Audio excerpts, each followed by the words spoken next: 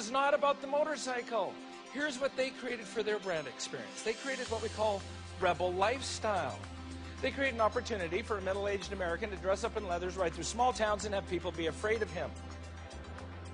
And we paid 30000 for the privilege. Experience trumps the service. If everything is equal, and you have a better experience with me than with that guy or that girl, I win. Is we must continually challenge our assumptions, our assumptions about our competitors, our customers, and ourselves. Because if our assumptions are wrong, our results can be devastating. My job is to challenge your assumptions. I don't do what you do. You are the expert. You guys are the ones pounding it out every day. And, but I can look at you from 36,000 feet and go, how come you guys do this? Are we stressed out as people, yes or no?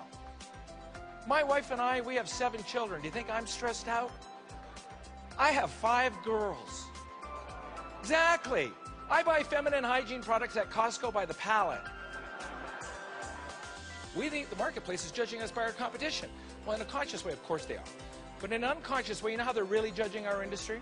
By whoever has the highest service standard in business today, regardless of the industry we partner with knowledge, and we have to become better at the knowledge game. We have to be knowledgeable about their business. You got to be knowledgeable about social media. You got to know how to make Twitter work for them and Facebook work for them and their website work for them. You have to get technically astute as well. You'll employ all of this stuff, and we've got lots to employ, but if you'll apply it, you'll have more fun at what you do. You'll not only become the preferred provider of what you sell, you will stay the preferred provider of what you sell.